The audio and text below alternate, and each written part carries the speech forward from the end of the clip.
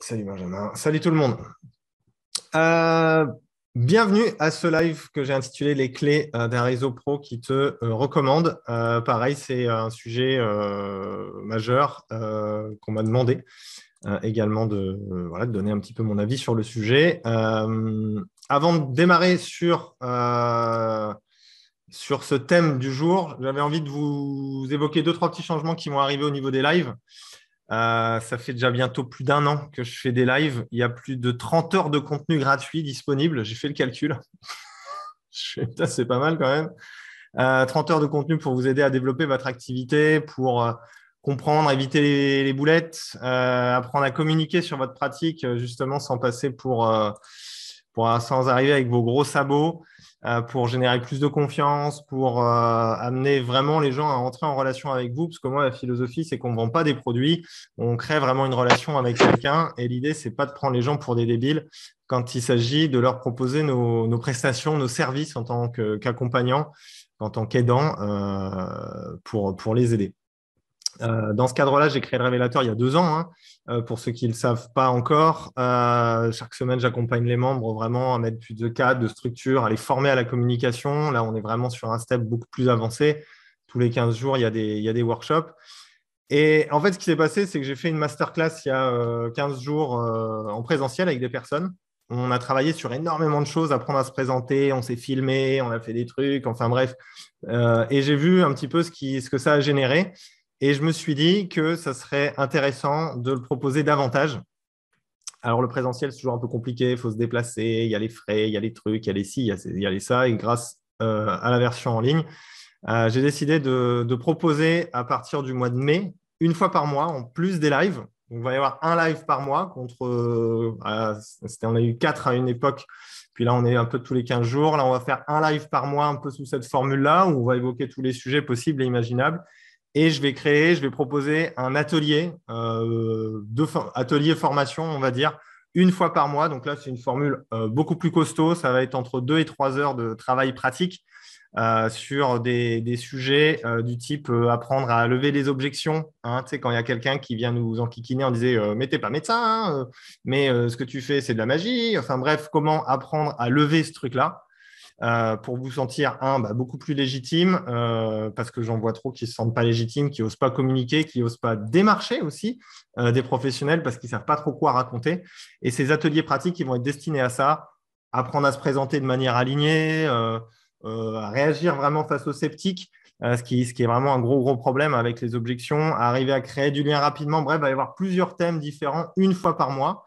Ça va être limité en termes de nombre parce que l'idée, c'est de vous former. Hein. Euh, l'idée, ce n'est pas de faire une conférence ou de faire un live sympa. Là, c'est un atelier. C'est travail. Donc, du coup, je vais limiter le nombre de places. Euh, ça sera un atelier qui sera, euh, je vais vous demander une participation, bien sûr, parce qu'on va, passer quand même trois heures ensemble. on va bosser sur le truc. On est, à la frontière de l'atelier formation. On est vraiment entre les deux, hein, d'accord? Pour tous les membres du révélateur, ça sera compris dans votre abonnement. Donc, ça, c'est la good news pour ceux qui sont membres du révélateur. Euh, il y aura bien sûr un nombre de places limité. Et donc, voilà ce que j'avais envie de, vous évoquer aujourd'hui sur les changements à venir par rapport à ces lives-là. Euh, et j'espère que ça va, euh, ça va vous filer un coup de main, que ça va vous plaire.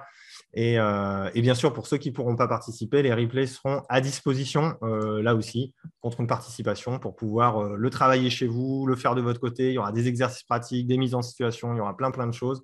Je vais vous faire bosser, je vais vous secouer, je vais vous bouger euh, pour arriver enfin euh, à, pouvoir présenter votre activité, vous sentir plus légitime, arriver à lever ces noms de noms d'objections. J'en vois tellement qui n'osent pas communiquer parce qu'ils ne savent pas quoi répondre à des gens qui vont venir un peu remettre en question ce qu'ils font euh, ou alors qui vont avoir des peurs plutôt légitimes et qui ne savent pas trop quoi répondre pour les rassurer et créer la confiance.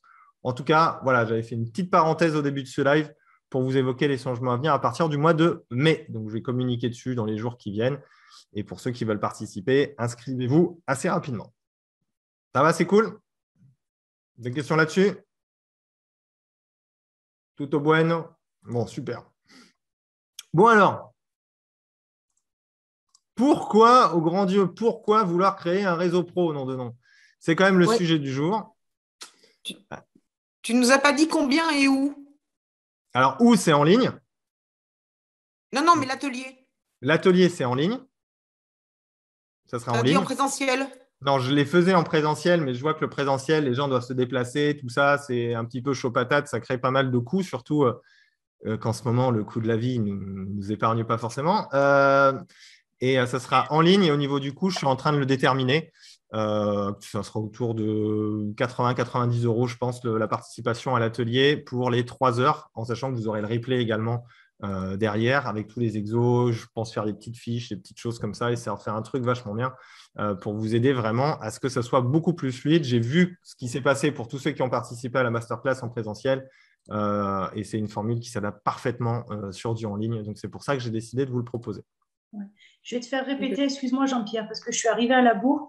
Pour ce que tu dis qu'il faut s'inscrire, c'est sur une date en mai. Où est-ce qu'on s'inscrit? Où est-ce que le. Je, je vais communiquer dessus dans les jours qui viennent. Euh, Je vais, je vais- D'accord. je vais faire un petit mail, je vais faire un truc, il n'y aura pas de D'accord, je souci. croyais que tu l'avais déjà dit. Ouais. Non, non, non, non, justement. Je vais communiquer. Là, je vous l'annonce déjà parce que du coup, le rythme des lives tel de cette formule-là euh, va forcément évoluer.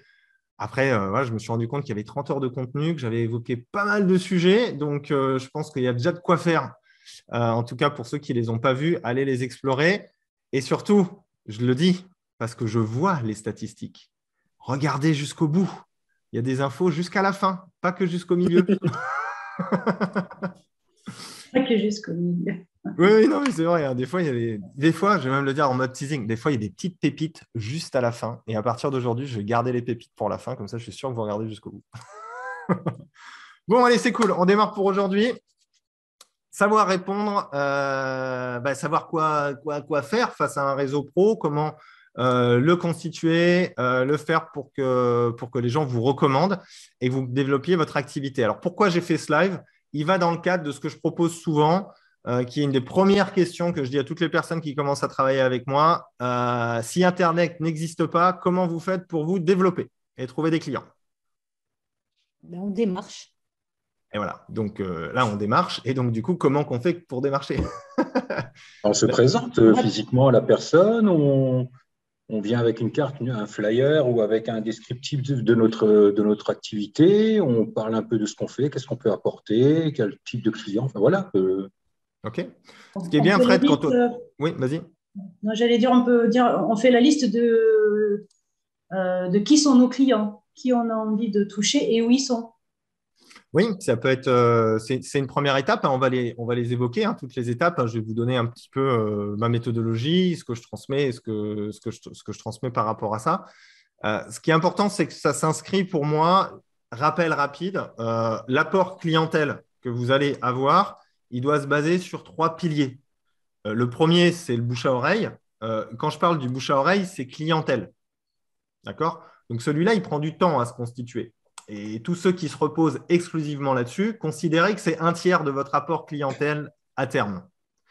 Euh, le deuxième pilier qui est intéressant, c'est la visibilité sur Internet. C'est-à-dire qu'on vous voit quand on vous cherche sur Internet. D'accord? Pour certains, ça sera plus ou moins important. Pour, cer- pour certains, ça va être extrême. Pour d'autres, ça va être très peu. Et le troisième pilier, ce que j'appelle autre, c'est euh, tout ce qui est euh, démarchage, création d'ateliers, conférences, faire du flyer, euh, et tout ce genre de choses-là, euh, qui va vous permettre également d'avoir de la visibilité. Et c'est important de découper en trois piliers. Alors certains, ils y mettront plus d'énergie dans l'un ou plus d'énergie dans l'autre, mais c'est surtout pour euh, casser un peu ce mythe de euh, euh, soyez compétent et attendez le bouche à oreille. Votre frigo a le temps de se vider. Hein tant qu'il se fasse, hein, des fois. hein. Donc, euh, misez pas que là-dessus. C'est surtout pour ça que j'insiste là-dessus. Alors, effectivement, en quoi c'est important de développer son réseau pro? Qu'est-ce que ça permet? On peut rajouter, pardon, bonjour. Vas-y, vas-y, vas-y, vas-y. Oui, Bonjour. euh, merci de m'accueillir. Euh, on peut rajouter les réseaux d'entreprise, d'entrepreneurs? C'est ce que je l'inclus dans ce package-là.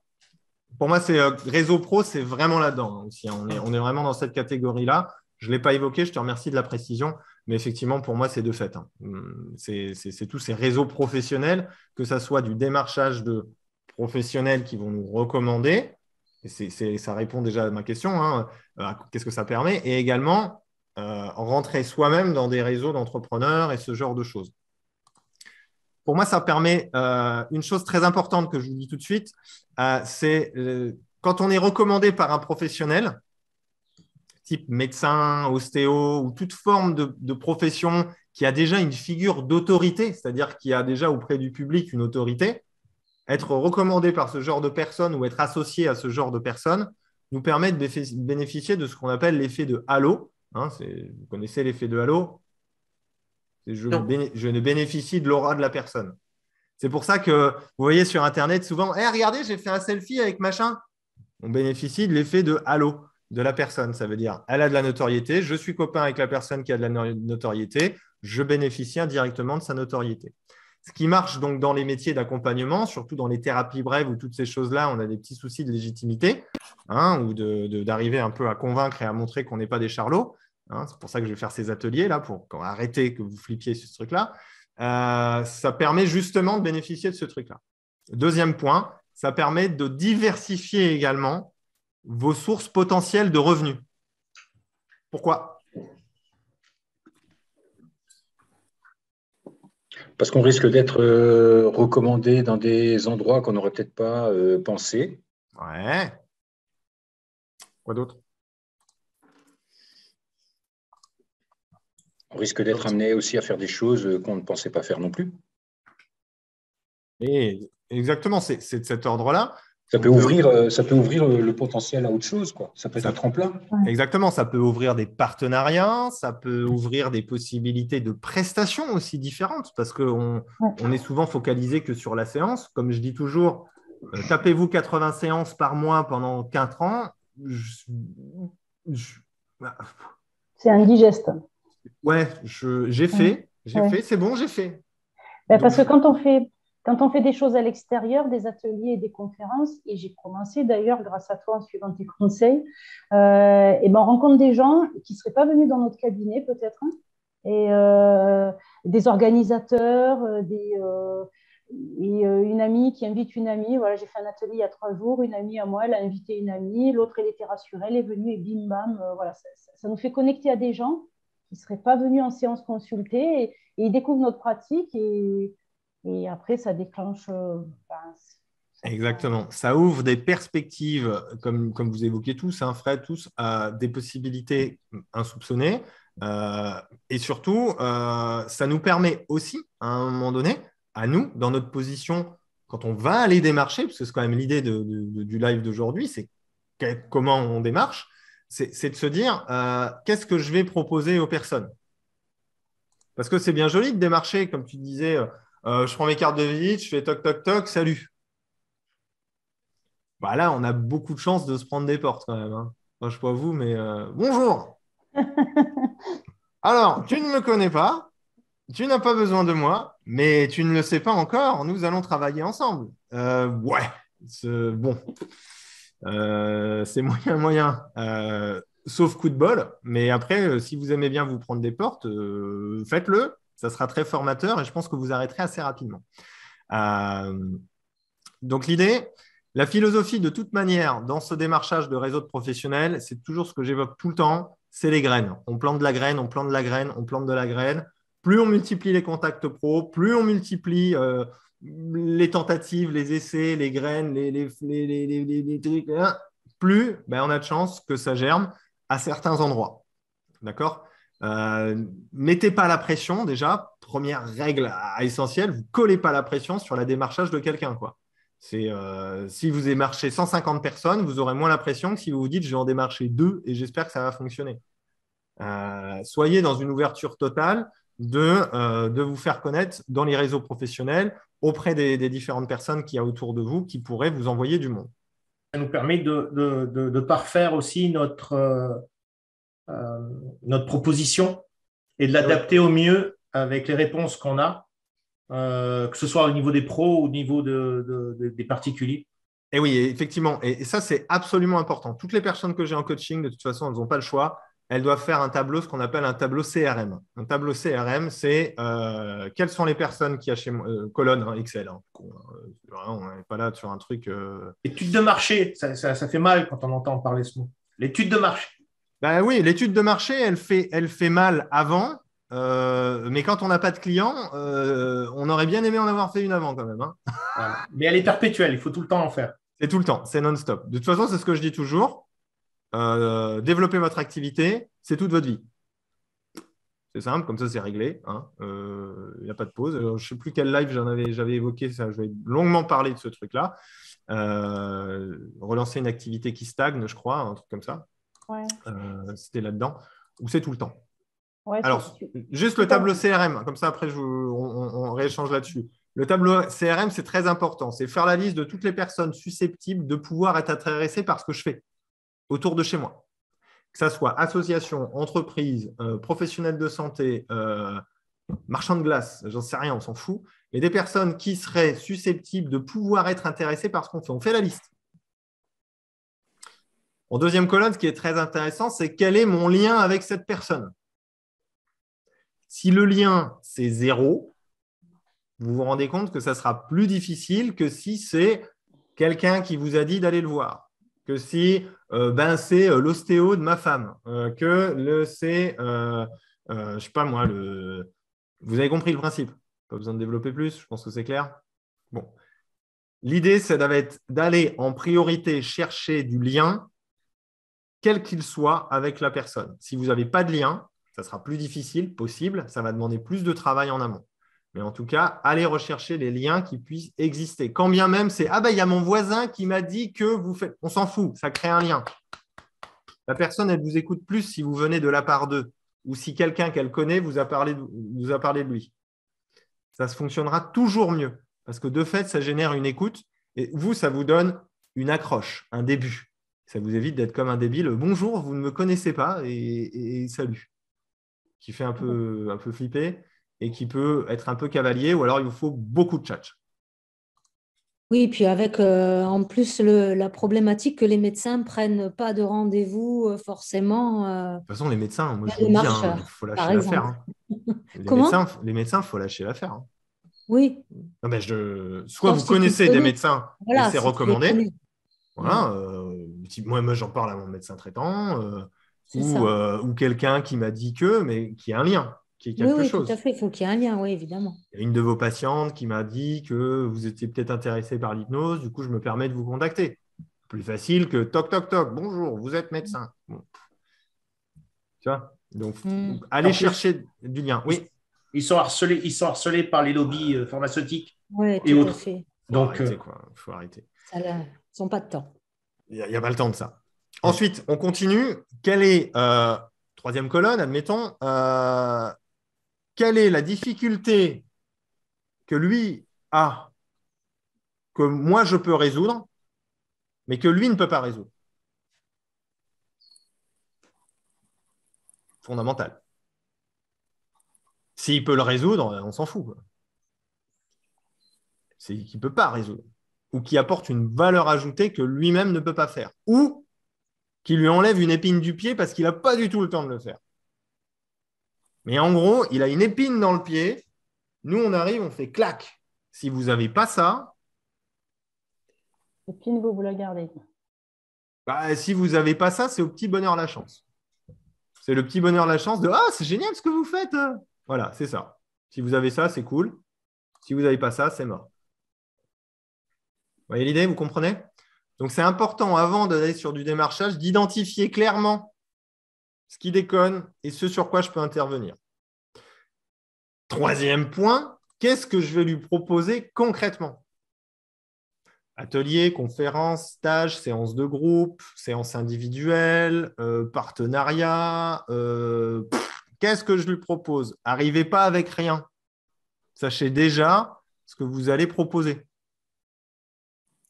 D'accord? Sinon, et à quel tarif aussi, au passage? Ah ben justement, Hop, hop, hop. Oui. Ah, je là. Oui, je t'ai perdu. C'est revenu. C'est bon. Euh, justement, le tarif. Euh, parce que autant le tarif de la séance en cabinet, ça, ça va, c'est facile à fixer.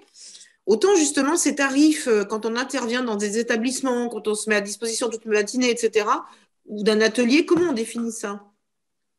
Moi, je visualise pas encore. Ah, les autres, vous en pensez quoi?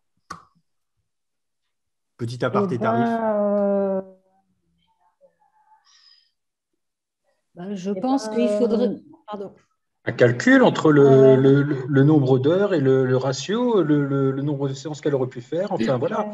Si tu fais des séances d'une heure à 60 euros et que tu restes 4 heures là-bas, bah, tu vas demander 240 euros.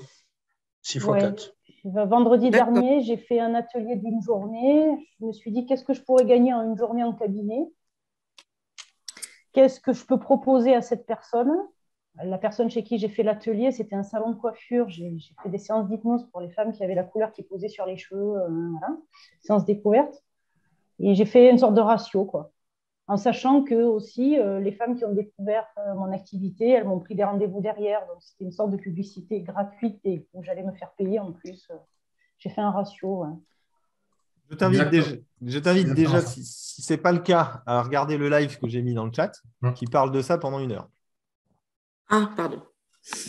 Euh, moi, je pense que c'est arriver à, à, proposer un tarif qui soit accessible pour les gens, c'est-à-dire faire quelque chose, je ne sais pas, à 20 euros, ça puisse paraître. Euh, ça va être toujours trop cher.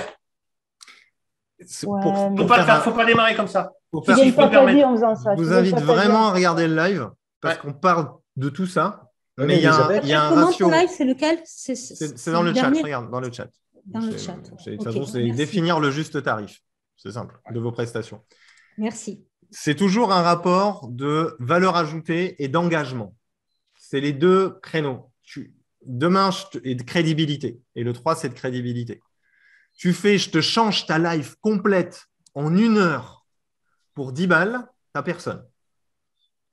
Ou des énormes positions de victimes quadruplexelles qui ne vont pas bouger d'un iota. Oui, mais en même temps, c'est un, atelier découverte qu'on va proposer. J'ai pas dit découverte, j'ai dit je te, je te change ta life.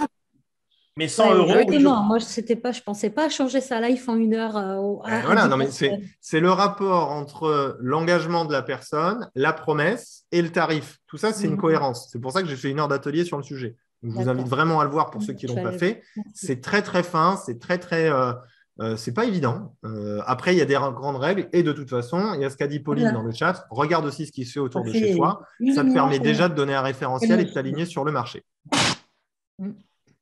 OK Donc, je continue sur mon tableau. Et effectivement, on était sur la colonne prestation. Quel est le type de prestation que j'ai envie de lui proposer? Exemple, j'ai envie de démarcher une entreprise. J'ai un contact réseau dedans. Euh, genre, euh, j'ai mon beau-frère euh, qui bosse dedans. OK, super. qui me donne le contact de l'ARH. Très bien. OK. J'ai identifié le problème là-bas. je ne sais pas, problème de productivité et de gestion du stress sur les équipes managériales. Très bien. Problème, ok, je veux proposer ça. J'y vais, je propose quoi? Un atelier, les coacher individuellement, une formation, un stage. Qu'est-ce que je propose? Si vous n'arrivez pas avec quelque chose, ça va être très compliqué. Ou alors, il faut que vous créiez un relationnel très très fort avec la personne. D'accord? Ça, c'est la deuxième partie du live. On va, on va évoquer ce truc-là. Ce que évoque Rachel par rapport au prix, c'est exactement ça. Je pense que pour le prix, il faut regarder la valeur ajoutée en fonction de la taille de l'épine du pied qui va être supprimée. C'est ce que je disais tout à l'heure, la valeur de ce que tu proposes, le prix et euh, la notion d'engagement. C'est OK sur ce tableau, c'est très très simple. Et vous mettez les dates à laquelle vous avez contacté la personne, à laquelle vous la relancez, à laquelle vous, euh, je sais vous avez échangé ensemble autour d'un café ou à l'apéro. Euh, je me dis, bah, tiens, elle, je vais la rappeler d'ici 15 jours pour lui réévoquer le sujet qu'on a parlé ensemble. Et vous mettez des annotations. Il faut vraiment avoir un suivi sur ce truc-là pour le démarchage des professionnels. Sinon, un, vous allez vous paumer, euh, vous ne saurez pas quoi dire, pas quoi faire. Ça va être compliqué. D'accord? Donc, c'est vraiment euh, le tips principal que je vous donne aujourd'hui. C'est faites un tableau de suivi des démarchages de réseau pro. Et il faut que la liste, elle s'allonge avec le temps. Plus elle est longue, mieux vous vous porterez à l'avenir. Il faut savoir que ce sont des graines que vous plantez, donc elles peuvent mettre plus ou moins de temps à germer. J'ai l'exemple de quelqu'un sur le révélateur qui a accompagné pendant un an, je crois pratiquement, un directeur d'hôpital. Et aujourd'hui, à force de discuter, d'échanger, de ci, de ça, ouf, elle a un contrat au sein de l'hôpital public. Et là, je peux vous dire, euh, enfin, elle est en train de le finaliser. Je ne suis, pas sûr que ce soit encore signé, mais c'est en train de se finaliser. Mais c'est un an de travail. Par contre, ça vaut le coup. Parce que là, c'est des prestats tous les mois. Cool. Vous voyez? Donc, euh, soyez patient aussi là-dessus. Par curiosité, oui. Excuse-moi, Jean-Pierre. Par curiosité, cette personne, elle a un prérequis euh, dans le milieu médical ou pas?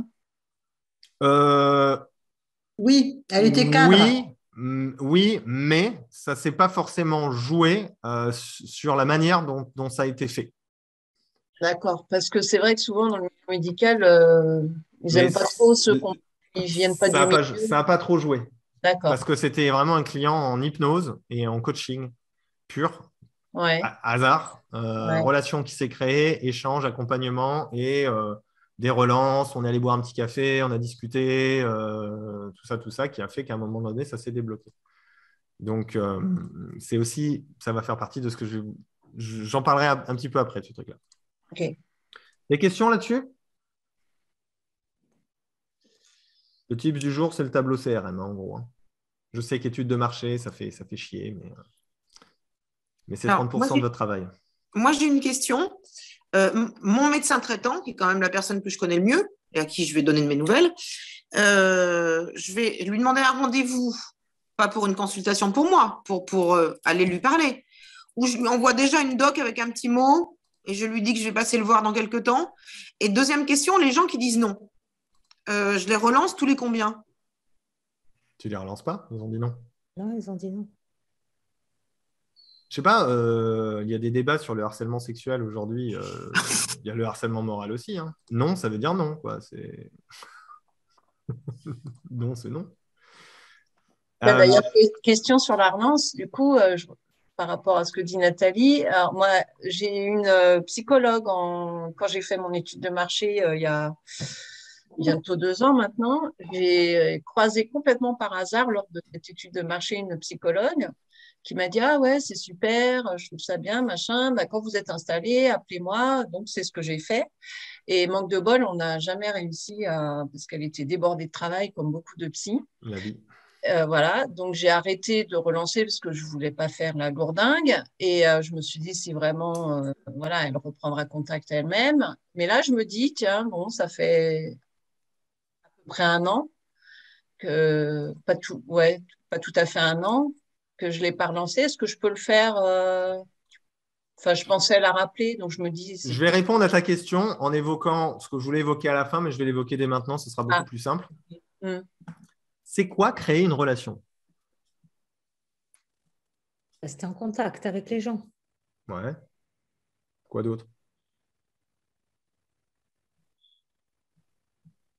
C'est entrer dans le monde de la personne ou faire en sorte que la personne rentre dans ton monde. Enfin, c'est ça doit être un échange, ça doit être. Euh, bah, il doit y avoir une, avoir une avoir de l'intérêt, un intérêt commun. Un intérêt commun, une interaction. J'ai souvent ma métaphore du, j'ai souvent ma métaphore du, mariage.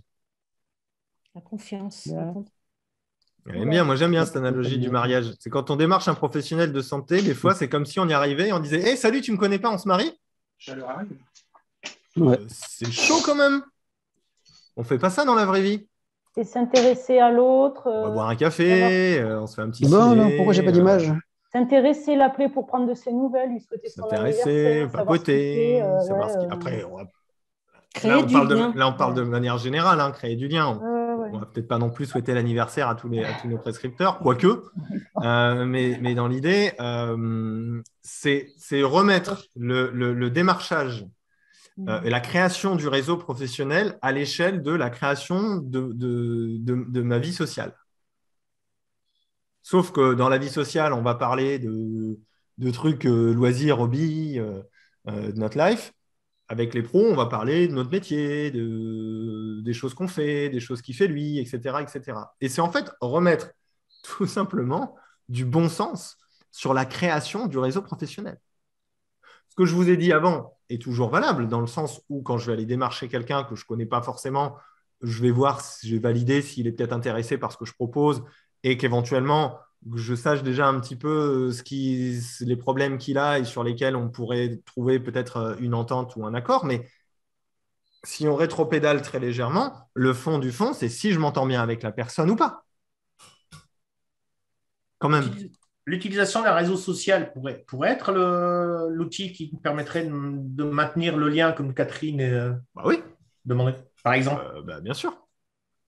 Bien Mais évidemment. Là, en l'occurrence, je me posais la question parce que, enfin, je sais pas, là, tu m'as un peu perdu avec toutes ces explications parce que du coup, je comprendrais que non, faut pas que je la relance. En l'occurrence, on avait eu vraiment un très bon contact et elle-même, d'ailleurs, m'a appelé. Euh, en me laissant des messages à plusieurs reprises et on n'a jamais réussi à se rejoindre. On n'arrive pas à se choper. Ça fait un an. On va se boire un café? Non, en fait, là, du coup, pendant que tu parlais, j'ai recalculé, pas du tout, ça fait 5-6 mois en fait. Voilà, écoute, ça fait 6 mois qu'on n'arrive pas à s'attraper. Ça dit, on va se boire un café, t'es dispo quand? Ouais. La vie? Tu vois ce que je veux dire? Ouais, ouais, ok, d'accord. C'est de le remettre sur un plan de la vie.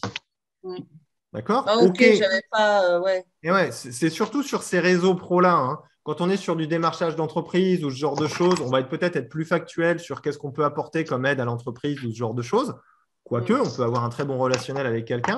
Mais pour tout ce qui est prescripteur, réseau pro, un ostéo qui est autour de chez moi, euh, quelqu'un qui fait de l'homéo, euh, un, autre médecin, un autre praticien qui fait autre chose et avec qui on pourrait éventuellement avoir des échanges ou des collaborations, n'oubliez pas qu'on est à la base des êtres humains et c'est nos relations et les manières dont on connecte également, et pas que sur des purs intérêts professionnels, euh, euh, qu'on arrive à créer quelque chose, qu'on arrive à qu'on, a envie aussi d'envoyer du monde chez la personne parce qu'elle est sympa, parce qu'on aime bien comment elle est, parce qu'on aime bien comment elle pratique et ce genre de choses. Tu vois ce que je veux dire? Donc, mm. Donc c'est pas non plus ne faire que du je me crée des potes, mais c'est de garder ça en tête. C'est de le garder un peu en tâche de fond de ce qu'est à la base une relation humaine. Et souvent, ça peut permettre de créer quelque chose de beaucoup plus puissant, de beaucoup plus pérenne euh, euh, qu'un démarchage sauvage qui est très très risqué, euh, à mon sens, déjà même pour votre estime de vous-même, parce que bah, si vous prenez veste sur veste et que vous ne savez pas forcément quoi répondre et que vous vous sentez un petit peu désemparé quand on vous dit ah ouais mais vous êtes pas vous êtes formé en combien de temps? Vous êtes formé en quoi? Un an, un an et demi? Si vous, savez répondre un truc ça à quelqu'un? N'est pas pour rien que je veux faire cet atelier. Hein. C'est parce qu'à un moment donné, tout ça, il faut savoir y répondre. Il faut savoir aussi se sentir aligné dans sa manière et solide dans sa manière de répondre à ce genre de choses. Donc, c'est pour ça que ça nécessite toujours un petit peu de préparation et qu'on n'y va pas la fleur au fusil en disant Coucou, salut, je fais tel truc, c'est vachement bien, ça aide des gens, on travaille ensemble. Non, ça ne marche pas, ça. OK? JP Oui. Oui, ça me fait penser à, ton live sur les prix. Euh, avec lequel on est en accord. Euh, et je pense que ça peut, enfin, c'est un peu ça, comme aller voir quelqu'un. Bah, si on se sent en lien avec l'autre, euh, bah, on, le sent intérieurement qu'on peut aller vers l'autre, on peut échanger plus facilement et voir où, ça grince. Euh, je sais que, bah, comme tu disais, les médecins, moi, du coup, ça, je ne vois pas trop d'intérêt, donc je n'ai pas hein. envie d'y aller. En revanche, je discute avec les commerçants du quartier et quand je vais faire mes courses, euh, quand je rencontre du monde un peu partout. Et au final, ça se fait tout seul. Et, euh, et oui, regarde, euh, Karine qui dit, ou la secrétaire médecin qui te dit, vous êtes la troisième hypno à passer cette semaine. Parce qu'en en fait, on en a ras-le-bol. vous n'en avez pas ras-le-bol qu'il y a des gens qui vous achètent, qui vous appellent pour vous vendre des trucs Vous, vous n'en avez pas ras le cul Enfin, je sais pas, moi j'en ai ras-le-bol. Hein. tous les jours, bonjour, êtes-vous au courant de la nouvelle forme gouvernementale qui vous permet d'avoir d'économiser 20% d'impôts? J'en ai ras-le-bol. Et donc, imaginez aussi les professionnels qui ont un défilé de gens qui passent en disant hey, Coucou, je suis en galère de clients, ça te dit, on bosse ensemble? Parce que c'est ça le sous-texte. Revenez à la création d'une relation sera toujours beaucoup plus puissant que euh, de faire du démarchage sauvage. D'accord? Donc, cherchez du lien, cherchez euh, des, liens entre des gens que vous connaissez et avec lesquels vous pouvez rentrer dans un réseau. Et, là, on va vraiment vous demander, et ça va être inhérent à vos propres compétences sociales, j'ai envie de dire. C'est vous êtes comment quand il s'agit d'être face euh, à quelqu'un que vous ne connaissez pas? Comment, vous réagissez Comment vous êtes Donc, pour certaines personnes, créer un réseau sera peut-être plus difficile que pour d'autres. Donc, c'est OK, ça aussi, hein, il n'y a pas de mal à ça. C'est pour ça que ça nécessite peut-être plus de préparation sur comment vous vous présentez, vous sentir aligné comment vous vous présentez, euh, vous sentir aussi solide si on commence à venir vous attaquer sur ce que vous êtes ou ce genre de choses, ça, ça va nécessiter un petit peu de préparation. Euh, connaître un petit peu le domaine de la personne que vous allez démarcher aussi, c'est important, de la prise d'information. Comment il fonctionne, sur quoi il travaille. C'est très, très important, ça, cette prise d'information-là. Et c'est souvent ce qui manque et qui, et qui nous empêche finalement de créer du lien. Parce qu'on ne s'est pas suffisamment intéressé en amont à la personne, à ce qu'elle peut vivre, à ce qui se passe pour elle. Et du coup, ça nous, ça nous bloque un petit peu et ça casse un petit peu le rapport. Ça va là-dessus? Ouais. Comment vous vous sentez déjà avec ce que je viens d'évoquer là? Très bien. bah, C'est structuré, c'est clair.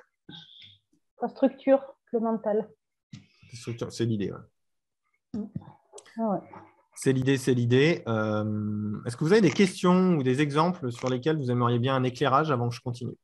Ah ouais, tiens, justement, moi j'ai une opportunité de. Parce que je partage le cabinet avec une réflexologue et elle m'a demandé si je voulais euh, faire partie d'une association qui, dans la, dans la ville où je suis, là, et qui, qui notamment est super intéressante pour, parce qu'elle organise les salons bien-être, etc. Et donc, j'ai un, quasi un stand assuré, sauf que en fait, euh, ça me saoule parce que c'est très, pour y avoir été à deux reprises dans ces salons-là, c'est très orienté euh, développement perso, mais dans, dans le côté que j'aime pas en fait. Ah, le papillon? Ouais. Et, eh oui. Et donc? Bah, je me dis qu'en même temps, ça permettrait de développer encore davantage ma même si ça va tous les mois un peu mieux. Donc c'est plutôt bien parce que, et au niveau du chiffre d'affaires et au niveau des rendez-vous d'avance, et je viens tout juste d'entamer ma deuxième année, donc euh, d'autant plus que j'ai dû changer au bout de quatre mois de, début d'activité. Voilà. Mm. Ouais. Donc euh, c'est plutôt bien dans l'ensemble. Euh, donc je me dis, bah, pourquoi pas, ouais, intégrer ça. Sauf que je me dis, enfin voilà, le côté. Euh, le réseau que tu intègres, tu, tu, prends le halo, l'effet de halo que j'évoquais tout à l'heure, tu prends le halo du réseau que tu intègres. Ouais, en fait, je peux en prendre une partie seulement et pas me sentir obligé d'eux, c'est ça que tu veux dire? Je dis, un, faut l'assumer. Ah, ouais. Deux, moi, tu me mets dans un truc dev perso, papillon, et tout le monde il est beau, et développer vos ressources et soyez heureux. Moi, je te fais une pancarte en disant le dev perso, c'est de la merde. Mm provoque, mais c'est mon style. Hmm. Je prendrai le contre-pied pour attirer du monde qui se poserait des questions et que j'interpellerai. Ça, c'est mon point de vue. Alors, je ne peut-être pas le dire comme ça, vous avez compris le principe. Mais euh, c'est de travailler peut-être un argumentaire ou une communication euh, qui prend un peu un contre-pied de, du monde dans lequel tu vas te trouver. Ça va être intéressant, tu vois, stratégiquement aussi, de prendre un contre-pied. Être disruptif oui. Ça peut. Après, tu, peux y aller, tu peux t'en foutre euh, et, garder ton alignement, toi, sur ta manière d'accompagner les gens. Et ça te permet juste d'avoir de la visibilité, quoi. Euh, ça marche. Mais ce qui sera intéressant de se dire, c'est si tu vas dans un salon très euh, flower power, en mode on se fait du bien, on se fait du bien, on se fait du bien, et que ce n'est pas ta philosophie, mm. bah, comment tu peux attirer l'attention des gens et pas juste être un numéro de plus parmi tous les papillons qui vont voler dans ce salon? Ouais, en même temps, pas un papillon, Pardon? Qu'est-ce que tu appelles un papillon non, mais c'est pour la blague. C'est pour la blague du dev personnel. Euh, sois une meilleure version de toi-même. Tu as des ressources incroyables à l'intérieur de toi et tu peux vraiment exister, déployer tes ailes et être heureux dans le monde. Tu vois, c'est le genre de salon, j'ai l'impression, dans lequel. Ouais, mais en même temps, tu n'es pas aligné avec ce qui tu es quand tu vas là. tu vas à l'envers de ton alignement, quoi. Donc, je pense que ça, c'est difficilement constructible derrière. Bah, est-ce que tu as envie d'attirer des. D'entrée, tu n'as pas envie, c'est pas ton truc. Voilà, un, tu n'as pas envie. Deux, ça va, tu vas avoir des gens en face de toi qui sont peut-être pas dans l'état d'esprit que tu recherches. Donc, c'est pour ça que je te dis, soit tu le prends comme une opportunité de pouvoir ouvrir un champ de perspective aux gens qui vont venir, et ça, ça peut être chouette, pour le mm. coup. Euh, soit tu vas pas. Ou soit tu fais canard et euh, tu joues sur ton téléphone toute la journée. Quoi. Je, sais pas. ouais. ouais, je vois ce que tu veux dire. Ben oui, non, mais ça peut être intéressant, n'empêche, euh, ce côté-là, effectivement, de. Faut que je vois. Parce que c'est vrai que c'était un petit peu le problème, justement, au premier endroit là où je louais avant. Et c'est ça qui a fait que, en fait, ce que je voulais en faire de, ce métier, ben, ça, ça n'allait pas avec. Euh, et puis bon, il y avait en plus un côté assez euh, mystique, quoi. Ouais. Je le carte, enfin, même si j'ai rien contre, hein, pas du tout. Alors là, c'est ok, il faut tout. C'est juste que j'étais pas au bon endroit, en fait. J'étais plus sur un côté. Euh... Disons, ce, ce, ce, genre de, de, de, pratique, euh, ça répond à un besoin, c'est très bien, c'est pas un souci. L'idée, c'est toi. Ouais. Toi par rapport à ça. Si toi, ça te sort par les yeux, c'est pas ton truc, ça va être compliqué quand même de te sentir bien pendant, ce, salon. Si ça te dérange, mais bon, qu'à la fin, tu t'en fous un petit peu, mais que ça te permet toi aussi peut-être de présenter un autre angle de, développement personnel, un autre angle de travail sur soi, pourquoi pas Ça peut être aussi intéressant. Euh, d'être aussi confronté aux personnes qui, moi je dis toujours, hein, soyez confrontés aux gens qui ne sont pas d'accord avec vous, ça vous aide à évoluer, à définir vraiment votre singularité et votre positionnement, parce que s'il n'y a que des gens qui vous brossent dans le sens du poil, vous ne pouvez pas vraiment savoir votre positionnement. Alors que s'il y a des gens qui vous confrontent, c'est à ce moment-là que vous pourrez vraiment dire oui et non. Et donc savoir où vous êtes. Donc ça peut être aussi intéressant, ça peut être très riche, ça peut être très intéressant, ça peut créer aussi euh, d'autres synchronicités, ça peut t'ouvrir aussi un champ des possibles à toi par rapport à ce que tu penses aujourd'hui de ce genre de pratique. Moi, moi j'ai tout fait, moi, ces trucs-là, donc euh, j'ai tout fait. Donc, c'est vachement intéressant. C'est pour ça qu'aujourd'hui, je peux vraiment parler avec mon avis par rapport à ma sensibilité. Euh, ce qui n'est pas une vérité, qui est juste la mienne. La vérité est ailleurs. Je dis tout le temps, la vérité est ailleurs. Elle est partout. Elle est partout et nulle part en même temps. Elle est partout et nulle part. Hein. Elle est souvent ailleurs. et tu vois, je ne sais pas si ça t'aide, mais en tout cas, euh, si tu y vas, vas-y en conscience. Oui, voilà. En fait, moi, bah, de toute façon, je fais, je fais toujours comme ça. Je ne sais pas faire autrement. Donc, c'est pour ça que je prends le temps d'y réfléchir. En plus, là, je me demande si je ne suis pas en train d'essayer de trouver un échappatoire. Là, je ne sais pas trop justement, ou parce que je suis en train de, de, voir pour euh, développer une autre activité pour justement euh, compléter ce qui me manque euh, tous les mois. Dans, mais plus dans le cadre de ce que je faisais avant, gestion analytique, euh, compta, voilà. Donc, voilà, je suis un peu là-dedans. Ok, je te laisse réfléchir. tu es, toujours sur le révélateur, on en parle. Oui, tout à fait. Euh, Philippe, euh, j'avais fait un CRM, mais la plupart des entreprises sont très difficilement contactables en direct. J'ai fait de la boîte aux lettres avec un retour faible. Effectivement, la boîte aux lettres, ça donne un retour très très faible. Euh, perso, le développement professionnel est au final un travail lent. Attendez, il y a une il y, il y a du bordel un peu derrière, excusez-moi. Je ne sais pas qui est-ce qui, qui, a des enfants. Bataille de Lego. C'est pas les miens en plus. Hein. Pour une fois, c'est pas les miens. Attendez, je vais désactiver les micros. Voilà. Euh, excusez-moi, donc euh, le développement pro est au final un travail lent à investir sur quelques personnes. Oui, c'est ce, que je, ce que je disais tout à l'heure. Je suis complètement d'accord avec toi, Philippe. L'idée, c'est de, de, euh, de voir ça, surtout sur les entreprises, comme des petits pas du réseau, des opportunités. Plus vous allez vous ouvrir, aller échanger dans des réseaux d'entrepreneurs, organiser peut-être des événements en lien avec les entreprises ou des managers potentiels. Et plus finalement tout ça, ça, plus ça, plus ça, plus ça, fait qu'à un moment donné, vous allez peut-être avoir des opportunités dans certaines structures, etc. etc. Ce qui n'enlèvera jamais le travail d'étude de marché, travailler votre offre et travailler ce que vous allez proposer à cette entreprise. Parce que juste, salut, je vais travailler sur les entreprises pour la gestion du stress, vous êtes mort. C'est même pas la peine. Et il y en a 8 milliards qui font ça. et donc, du coup, pourquoi vous? Oui, Jean-Pierre. Oui, Philippe. Oui, oui, pour revenir dessus, parce que c'est vrai que au début, euh, j'avais fait tout un plan, j'avais tout, voilà, mon business plan, tout, tout qui était nickel. Et c'est vrai que j'avais fait le CRM pour les entreprises. Et les entreprises, bah, il y a une liste, surtout en région parisienne, il y en a plein. Réussir à contacter, c'est très dur. Ça prend énormément de temps, énormément d'énergie. Et en fin de compte, pour un résultat qui est faible. Et euh, je me suis aperçu que bah, les liens, en fin de compte, qui m'ont développé, moi, le business, ben, c'était pas, euh, c'est des petits liens comme ça, c'est des personnes euh, mmh. à droite, à gauche, et un contact, et, voilà, et, c'est ça en fin de compte qui a, créé en plus, voilà, ça. qui a ramené. C'est un peu tout le message du, du live hein, que j'essaie de vous transmettre aujourd'hui. Hein. c'est privilégier les liens humains avec les gens, mmh. Où vous avez une accroche sur le professionnel. Donc, votre regard sur le professionnel, votre regard sur l'accompagnement, votre regard sur toutes ces choses-là. Et plus vous allez créer un lien, euh, moi j'ai des prescripteurs, c'est devenu des amis maintenant. Ces prescripteurs à l'époque, c'est devenu des amis pour qu'on ait entretenu le lien, etc. Moi, j'envoie du monde, ils m'envoient du monde, c'est cool. Euh, tu vois, c'est ça comme ça que ça marche, au final. Et donc, je veux casser un peu ce mythe du euh, toc, toc, toc sur les démarchages de professionnels.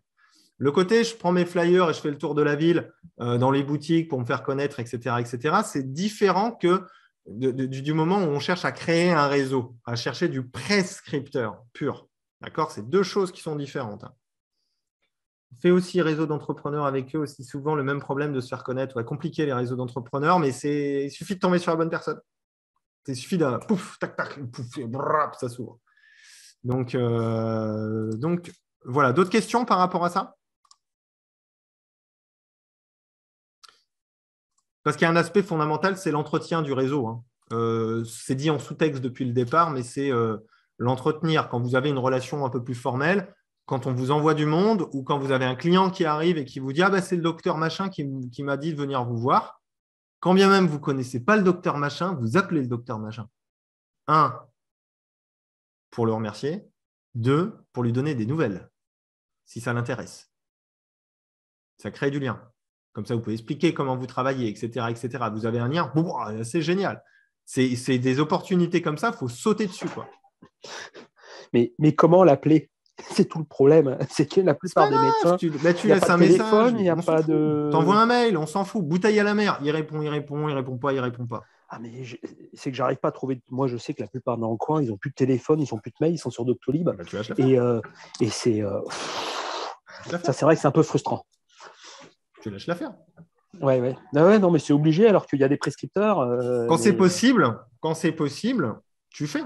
Tu relances, tu te le mets dans ton tableau et tu te dis, bon, bah, là, j'ai essayé le mail, ça va marcher. Là, j'ai essayé le téléphone, ça va pas marcher. Bon, bah, lâche l'affaire. À un moment donné, c'est le fameux non, quoi. Ce que je disais tout à l'heure sur le harcèlement moral, quoi. Quelqu'un vous dit non, c'est non. Non, ça veut dire non. Si vous prenez un non, il faut savoir pourquoi vous vous prenez le non. C'est est-ce que la personne n'est pas intéressée par ce que vous faites ou euh, en fait, moi, je fais euh, euh, de l'accompagnement des gens qui ont des problèmes et du coup, bah, je les aide euh, bah, aller mieux en exploitant les ressources intérieures. Voilà, le type, il te regarde avec des yeux comme ça, il te dit non. Bah, le problème, c'est peut-être la manière dont tu as présenté ton truc. Par contre, si la personne est totalement réfractaire à ce que tu fais, là, à ce moment-là, il faut dire stop. Oui, et puis ils n'aiment pas qu'on leur téléphone. Tu essayes, si ça ne marche pas, ou tu envoies un courrier ou n'importe quoi, ou donner des nouvelles, ou alors tu lâches l'affaire. Sur les médecins, c'est vraiment très compliqué. Il faut juste arrêter avec ce mythe du médecin. C'est très compliqué. quoi. Nathalie oui, tu m'entends? Euh, Moi, déjà, c'est comment on passe la barrière de la secrétaire? Pour tu m'as entendu? Oui, mais pour faire quoi? Pour s'adresser à cette personne. tu laisses un message, c'est pas grave. Tu lui dis bah, laissez un message de la part de machin, j'ai une de ses patientes, euh, je vais lui donner des nouvelles si ça l'intéresse. Ouais, c'est son boulot, la secrétaire, quelque part. Moi, j'ai un cabinet médical juste à côté où je suis, dans l'entrée de l'immeuble à côté. J'ai été les voir. La secrétaire, elle a été euh, charmante en plus parce que justement, il y a un ou deux médecins dedans qui sont justement intéressés par l'hypnose. Et alors, ils travaillent déjà depuis quelques années avec un hypno qui est à Vigneux, pas très loin de moi, en fait, de l'autre côté de la nationale. Mais voilà, j'ai laissé les flyers, euh, les cartes de visite. J'ai dit que j'hésitais, que j'étais la porte juste à côté. Après, bah, ça le fait tant mieux. Après, avec le Covid, bah, les flyers, ils n'avaient pas le droit de les mettre. Enfin bon. Après, tu offres un cadeau à la secrétaire? Un goodies, un agenda avec ton logo? Essayez tout ce que vous voulez. Nous, on avait, même, testé, on avait même testé avec une cliente des boîtes de chocolat. Un petit, voilà, un petit bloc-notes avec un crayon, un truc à la mode. Exemple, on avait testé la boîte de chocolat avec un petit mot. Exactement. Au culot. C'est le top. Sur quatre médecins. Au culot, hein, sauvage. Hein. On s'est dit, euh, on teste pour le fun. On dit, ouais, ouais, on teste pour le fun. Trois qui l'ont appelé pour lui dire que c'était un scandale un qui a appelé, je crois, euh, et ils ont, créé, euh, ils ont créé du lien. Un sur quatre, cool. Jean-Pierre, j'ai une question. Euh, Mais ça peut, tu, peux prendre quatre vestes hein, aussi. Hein. Oui j'avais démarché une psychologue que je connaissais et qui, donc au tout au début de ma pratique, et qui a fini par m'envoyer un client. Sauf que, attends, ce client était bipolaire et je ne me sentais pas les épaules assez. Enfin, c'était trop tôt pour le recevoir. Donc, je lui ai dit clairement que non, c'était trop tôt, c'est quand même un cas particulier, la bipolarité, on ne peut pas les faire entrer en transe comme ça. Euh, j'ai proposé euh, d'attendre que j'ai eu fait conversationnel pour éventuellement recevoir cette personne de manière à ce que ce soit plus souple. Euh, mais derrière, si tu veux, j'ai pas relancé le truc. Maintenant, comment, sans parler de cette personne, hein, mais comment je fais pour récupérer le lien avec cette psychologue? Parce que je pense qu'elle, si tu veux, euh, oui, c'est un peu compliqué, je vois, j'ai compris. Mais d'un autre côté, euh, au bout de quatre mois de, de, j'ai senti que c'était tôt. Et puis à, l'Arche, on nous disait bien, euh, les, les, les, il ne faut pas les prendre. ouais, euh, c'est comme la position haute, position basse, ça. Euh, mais bipolarité, c'est compliqué quand même. Et eh oui.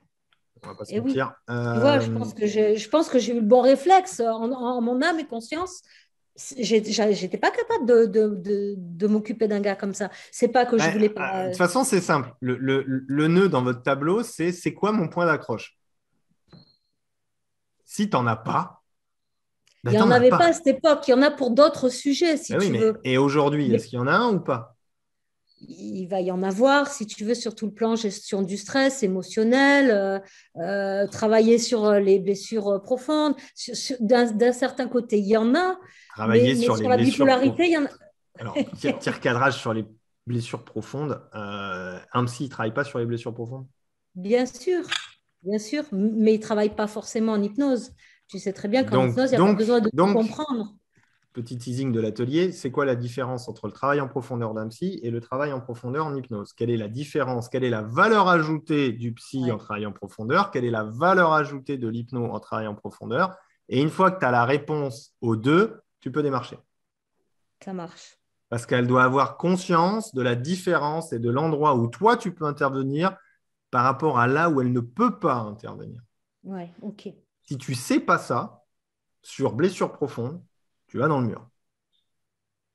Parce qu'elle va te regarder, elle va dire Oui, bien sûr que c'est leur travail, je le sais très bien. Voilà. Mais si tu arrives en disant voilà, moi, je sais que vous, par rapport aux blessures profondes, vous travaillez comme ci, comme ça, etc. Et c'est très adapté pour telle et telle situation. On est d'accord? Oui, oui, et ça aussi, blablabla, blablabla, blablabla, elle parle. Voilà, moi, en hypnose, par rapport à vous, je vais être intéressant peut-être à cet endroit-là, dans ces moments-là, sur les blessures profondes.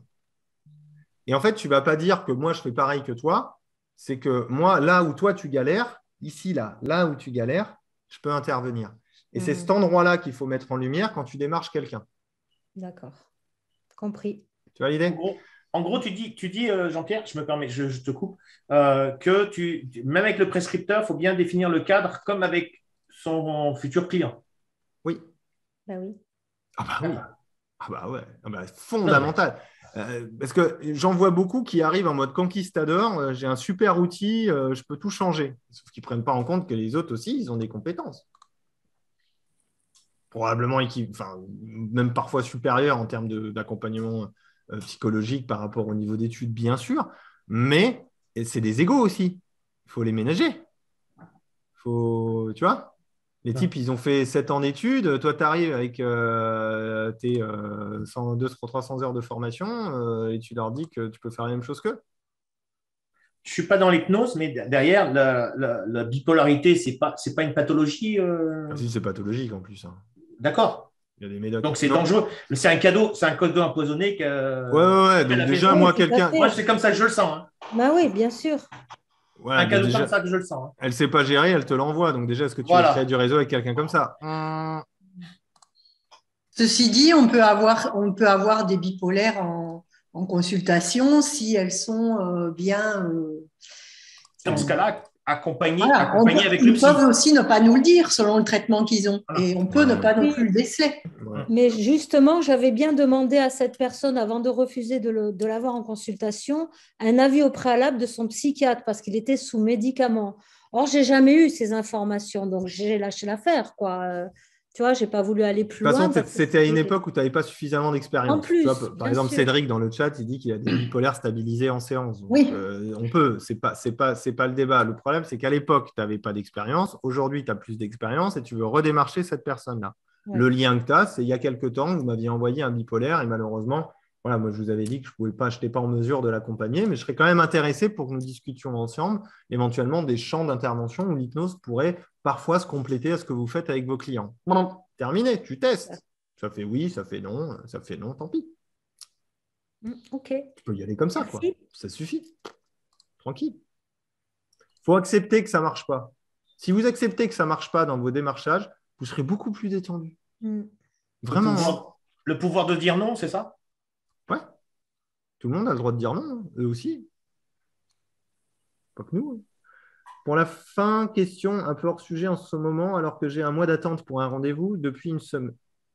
Ah oui, tu as un mois d'attente pour tes rendez-vous depuis une semaine, très bien. 50% des rendez-vous sont supprimés ou plantés moins de 24 heures avant. Une horreur avant le même problème. Et quelles actions vous mettez en place?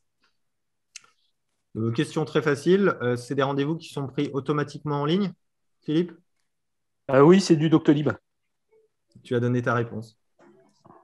Mais c'est vrai qu'avant, avant, je n'avais pas ça, mais là, c'est pour ça que je me dis avec la, avec la crise, c'est est-ce que c'est ça À compter touriste. Bon, 24 heures avant, c'est touriste. Hein. C'est le mec qui s'est dit. Euh, euh, il est sorti d'un lendemain de bringue, il s'est envoyé un paquet de clopes et il s'est dit j'en peux plus. Le lendemain matin, encore à moitié bourré, il prend un rendez-vous sur, euh, sur Doctolib et 24 heures avant, il se dit ah non, je ne vais pas claquer 80 balles. Et puis voilà. C'est un exemple un peu caricatural, mais c'est un peu. Non, non, mais c'est ça. Jean-Pierre, tu as raison, parce que c'est pareil l'engagement avec un 10 euros et l'engagement avec un 100 euros la séance. Il est exactement la même chose. Voilà, donc euh, soit tu fais payer un acompte et valide bien qu'il y ait les rappels SMS, mais avec Doctolib, c'est le cas. Euh, c'est paramétré, c'est le cas, parce que tu peux décocher le truc. tu as, les rappels, euh, Philippe, de cocher en mail et SMS oui, oui, oui, oui, oui, j'ai tout. En plus, c'est des clients, c'est pour ça que je disais que c'était d'autres personnes, parce que c'est même des clients récurrents, des clients que j'avais qui sont déjà venus 4, 5 séances. Et là, 50%, c'est beaucoup. Hein. Après, en ce moment, il y a beaucoup de Covid. Hein. Donc, il y a peut-être ça En ce moment, il y a énormément de cas Covid. Les gens annulent au dernier moment à cause du Covid. Hein. Ouais, c'est possible. Bah, tu vois, Jean-Pierre, si tu te souviens, cet, hiver, je t'avais écrit justement pour ça, pour voir si tu n'avais pas une méthode, un truc euh, où je te disais que justement, pendant les congés de Noël, j'avais euh, j'ai eu deux clients qui, qui avaient l'air pressés et tout. J'ai sacrifié une journée de congé pour euh, leur, leur accorder l'après-midi pour faire des séances pour et au final, ils m'ont planté tous les deux. Ouais, ben moi j'ai ça aussi, Frédéric. Les gens, ils appellent, ah, c'est tout de suite maintenant. Ben, écoutez, désolé, je peux vous prendre que là. Donc on prend rendez-vous et en fait, elle vient pas, elle téléphone pas. Et en plus, elle rappelle pas quand je laisse un, un message. Donc ben là, moi, je cherche même pas, je bloque. Il n'y a plus de prise de rendez-vous avec ces gens-là. Je ne me pose pas de questions. Je oui, oui. Là, il y, a plein de cas possibles. Moi, je vous le dis et je vous le répète Doctolib. Ouais. Lisez dans mes pensées. Ouais, je, mais je suis en train d'y réfléchir, moi, à le virer. Si ça vous rapporte du monde, si ça, vous, si ça se rentabilise et que ça vous rapporte du monde, touchez rien, mais vous plaignez pas s'il y a des annulations. Ouais, ouais, tout à fait. D'ailleurs, non, non, mais c'est, en fait, c'est, le deal. Mmh, le deal, la, la, règle du jeu de Doctolib, c'est que tu peux avoir des rendez-vous touristes. Sauf que là, en ce moment, autant ça m'a bien servi au début, mais euh, enfin, juste pour la petite histoire très vite, parce que c'est pas trop le sujet, mais en fait, euh, ça m'a servi au début, mais aujourd'hui, les gens, ils viennent que par, euh, parce qu'ils me trouvent facilement sur Google, parce que c'est le bouche à oreille, parce que c'est aussi des prescripteurs un peu que j'ai. C'est que comme ça. Plus jamais on m'a dit Doctolib depuis quelques mois. Donc là, je suis en train de penser à effectivement le virer. Moi, je pense. enfin, oui, vas-y. Récemment, récemment j'ai lu un, un post, là, je ne sais plus sur quel groupe, on avait parlé de ça, justement, de Doctolib, Créneau Libre, euh, euh, Clic Rendez-vous et tout ça. Et les gens disaient, Doctolib n'est pas fait pour vous faire de la pub et vous ramener des clients. C'est faux, c'est des conneries. C'est un secrétaire virtuel. Oui, c'est tout. Point barre. Avec un peu de chance, parce qu'ils ont un référencement qui fait que vous, pouvez être vu plus facilement euh, sur Google et tout. la personne qui a l'habitude de chercher le dentiste, le truc, et qui va peut-être, il pourra, voilà, il a le réflexe mais ce n'est pas le but premier de Doctolib, c'est vraiment pour euh, désengorger. Et puis, je, et puis, là, on va revenir au thème du jour, mais je vais boucler, vous allez voir. Euh, comment on crée du lien, putain? Pour moi, quelqu'un, sa manière de prendre rendez-vous, c'est le début de la séance. Ben pour moi, moi, je n'ai pas de Doctolib, tout ça. Bon, je n'ai pas trois tonnes de clients non plus, hein, ce n'est pas la question vous m'entendez? Parce que je ne sais jamais si. Mais par contre, il faut que les gens m'envoient un message et je les contacte derrière ou ils m'appellent directement. Je trouve que c'est important d'avoir un contact téléphonique au préalable. Ah ben, c'est ce que je me tue à raconter depuis des années. Voilà, pour moi, c'est. Alors, ok, j'ai moins de monde, mais au moins, je n'ai pas de désistement non plus. Il y en a plein de souvent, surtout ceux qui sont sur le révélateur. Je fais beaucoup, quand, quand je fais un peu de la démo de chat, tu vois, quand je parle aux gens, là, je fais de la démo de chat ils me disent, mais putain, mais comment tu fais? J'ai pendant cinq ans eu tous mes clients au téléphone avant qu'ils prennent rendez-vous. tous. Et je les ai tous questionnés sur oh, pourquoi tu as fumé euh, euh, un peu en mode débile, tu vois, pour comprendre un petit peu ce qui se passait dans leur tête et les mots qu'ils employaient. Et au bout d'un certain temps, vous voyez que c'est toujours la même chose. Toujours. Désolé, les gens sont tous pareils. Euh, mais là-dessus, sur leur, leur, problème, à un moment donné, c'est toujours pareil. Et donc, c'est vous vous privez aussi d'une opportunité incroyable. Un, de créer du lien, de la confiance qui élimine les possibilités d'annulation.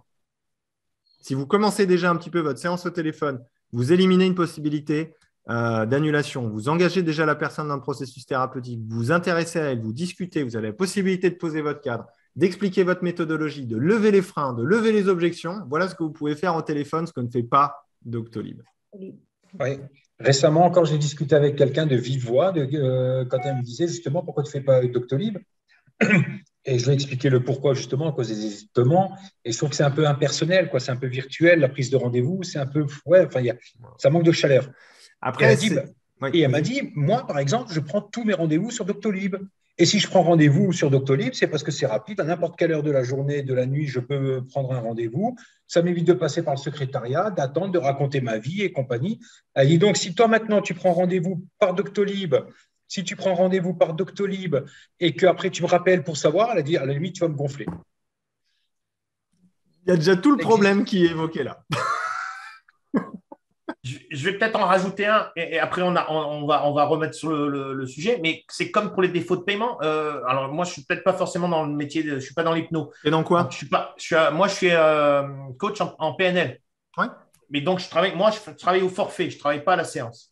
C'est bien aussi. Donc j'ai pas le souci de, du défaut de paiement, parce que là c'est ce que j'allais vous dire. Il y a un moyen dans ce cas-là de vous prendrez pas une en avance une séance d'avance sur une empreinte carte bleue que vous, euh, alors je ne sais pas s'il y a 10 euh, séances de prévues et là, et il n'en paye que 9 et la dixième, c'est l'empreinte, c'est l'empreinte que vous prenez derrière. Je, ça, vous avez, vous, de votre côté, la sécurisation du défaut de paiement et du premier rendez-vous. Alors, ouais, le premier alors, je ne sais pas si c'est commercial ou pas, ou ça, ça, marche ou pas. Voilà, je vous pose la question. Il y a un problème, de légalité. Il y a un problème de légalité. Oui, c'est pas légal. Cependant, il y a un twist, c'est ce que je fais avec euh, quasiment toutes les personnes que j'ai en coaching pour le coup aussi c'est qu'ils s'engagent dans un processus d'accompagnement. Et là, on travaille sur le pitch, lever les freins, l'engagement, tous ces trucs-là, qui fait que les personnes, elles ne s'engagent pas à payer en avance leur séance. C'est qu'elles s'engagent et elles payent un, temps d'accompagnement avec un contrat défini du nombre de séances qui sont dans lesquelles ils s'engagent, en fait. Donc, c'est un contrat. C'est comme toi, en fait, si tu préfères. comme le voilà, voilà. Mais, enfin, moi, c'est un engagement dans une durée d'accompagnement définie, avec un tarif défini. Et c'est tout l'art d'amener la personne à s'engager dans un processus d'accompagnement. Et, et, ça vient souvent. Euh, après, je ne vais pas le développer euh, ici aujourd'hui, mais ce sont des choses qui sont, qui sont euh, largement possibles et envisageables parce que la base de base de base de base, c'est la création du lien, que ce soit avec votre réseau professionnel, avec vos clients. Et Doctolib, c'est juste un tue l'amour. Quoi. Ouais. C'est le premier rendez-vous. C'est le, Tinder de, de, de, l'accompagnement thérapeutique. Quoi. c'est catalogue et match. Voilà, pour moi, pour moi j'utilise Calendly égale premier outil Calendly. Il y en a un autre qui s'appelle Tout Calendly. Euh, voilà, c'est cet outil-là pour mes prises de rendez-vous que j'utilise. Mais, mais c'est toute une démarche en fait. Après, Doctolib, c'est pas mal parce que ça peut filer un coup de main pour un kickstart. Après, ils ont leur algorithme qui tourne. Il y a beaucoup de gens qui sont dedans. Donc, au début, ils vont vous faire monter et puis après, ils vont privilégier bah, les nouveaux inscrits. Donc, forcément, vous retombez un peu derrière. tant, que ça... tant, que ça, se rentabilise, pour moi, ce n'est pas un problème. Mais le sujet du jour, là, on a complètement dévié sur, sur autre chose, mais bon, ce n'est pas grave. L'idée, c'est la création du lien et rester dans quelque chose d'humain. C'est toujours ce que je répète tout le temps aux gens. Euh, intéressez-vous aux autres, arrêtez d'être autour de votre, de, de votre nombril, euh, soyez dans, une création de relation et, accompagner quelqu'un, c'est créer une relation, c'est pas forcément vendre un produit. Et c'est pareil dans votre communication, c'est pareil dans la création du réseau professionnel. D'accord? La première séance est primordiale. Le, bonjour. L'acte au téléphone est primordial. Le bonjour, la manière dont la personne dit. Tout ce que tu as dit, Fred, tout à l'heure, c'est textbook. On pourrait le prendre, le décortiquer. On, pourrait raconter la problématique de la personne, sa mmh. demande, et ce sur quoi tu pourrais travailler, juste dans la manière de ce que tu as évoqué tout à l'heure. Donc, c'est fondamental de les avoir, à mon sens, en ligne. c'est une manière de développer également son expertise. Ce n'est pas obligatoire. Je connais d'autres thérapeutes qui fonctionnent très bien sur Doctolib, ils sont pleins à craquer, ils ont pas ces soucis-là. Mais je dis juste, c'est intéressant de se poser la question et de choisir en fonction. Oui, Nathalie, après on va conclure. Oui, pardon. Euh, deux choses. La dernière fois, tu disais Doctolib, si ça vous rapporte autant que ça vous coûte, prenez-le. Deuxième, deuxième question, moi, sur les trois hypnos qui sont près de chez moi, il y en a deux sur Doctolib. Est-ce que j'ai quand même pas intérêt de commencer par Doctolib quand je vais m'installer? Oui. Tu n'es pas sur le révélateur, toi. Non. Pardon? Tu n'es pas sur le révélateur. Non. non, mais, c'est intéressant, Doctolib, au début. Moi, je pense sincèrement que ça a contribué à aider à mon référencement. Pas encore, oui. L'histoire des vignettes, hein, GP, euh, dont tu parles, hein, Jean-Pierre. Non, mais prends-le, prends-le. Ouais. Il y a des commissions qui se perdent. Même pas. Mais pourquoi devrait, pourquoi elle devrait faire comme les autres? C'est pas comme les autres, c'est un bon kickstart au début. Parce que l'algorithme va, en fait, l'algorithme va te favoriser au début. Ils sont malins. Donc, ce qui veut dire qu'au début, tu auras plus de chances de ressortir et d'avoir quelques rendez-vous, ce qui te permet d'avoir du monde un petit peu, euh, de commencer à pratiquer, de développer aussi ton bouche à oreille. Et une personne qui vient pour une séance, elle va peut-être venir pour deux, trois après derrière. Donc, c'est intéressant. C'est pour ça que je dis souvent que Doctolib, elle ne va pas le faire parce que les autres sont dessus c'est de le faire au début et tant que c'est rentable, tu laisses parce que ça donne un moyen supplémentaire d'avoir de la visibilité supplémentaire. C'est une graine de plus pour moi Doctolib. C'est pour ça qu'elle doit juste s'autofinancer. Mais si ça m'a beaucoup aidé au début. Voilà, au début, toi, ça combien, combien ils m'ont dit Ça a beaucoup aidé au début et après, ça s'est cassé la gueule. J'entends ça tous les jours. Mm. Donc au début, je ne vais pas dire non. Combien de temps vous accordez euh, à rappeler la personne? Ça vous prend combien de temps par personne de les rappeler un quart d'heure? Mais Je ne rappelais pas c'est toi qui vois. C'est toi qui vois comment tu t'organises. Ben, oui, je m'organise, mais si tu prends un quart d'heure par personne, ça fait quatre personnes par heure dans ta journée. Ta, journée, elle est surchargée, là Tu es, plein à craquer, là? Non, moi, je n'ai pas commencé encore. C'est ben, juste pour savoir comment je mets en place les choses. Tu te poseras la question quand tu seras débordé. D'accord. Non, mais c'est vrai. Si as que ça à foutre, hein. tu as deux séances dans la journée et tu as quatre heures de libre. Ben, tu peux bien rappeler les clients. Moi, j'ai arrêté le jour où euh, c'était plus gérable. Mais je me suis efforcé de le faire un maximum le plus longtemps possible. Je voulais prendre les gens au téléphone, c'est marqué sur mon site. Appelez-moi, on discute avant, sinon c'est mort. Donc, tu prends des notes de ça et, quand tu vas faire ton premier rendez-vous ou ton rendez-vous suivant avec la personne, tu partiras de cette note-là. J'ai plutôt une bonne mémoire, donc je ne prenais pas de notes. mais. Euh, D'accord. D'accord. Ok, ça marche. Par contre, ce que j'ai remarqué quand euh, j'ai eu deux personnes là euh, dernièrement qui m'ont téléphoné pour annuler le rendez-vous ben, parce qu'elles avaient le Covid, je les ai remerciées qu'elles ah m'appellent. bah, tu peux. Et en fait, du fait de les remercier, j'ai eu l'impression qu'il y avait eu un bug et elles ont repris rendez-vous pour 15 jours après. Bah oui.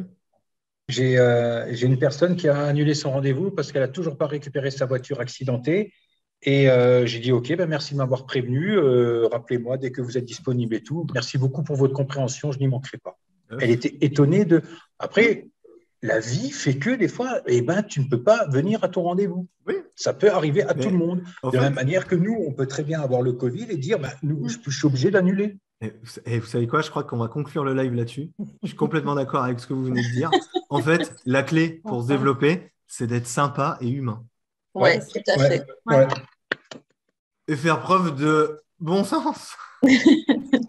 on est dans un monde où on tout est totalement dissocié, là, le téléphone, machin, truc, où on se parle comme des chiens, on réserve en ligne, on annule, on fuck. Le phénomène de ghosting, vous connaissez le phénomène de ghosting, c'est-à-dire les gens qui se font ignorer sur les réseaux sociaux, qui créent des drames et des dépressions pas possibles. Donc, soyez juste sympa et humain.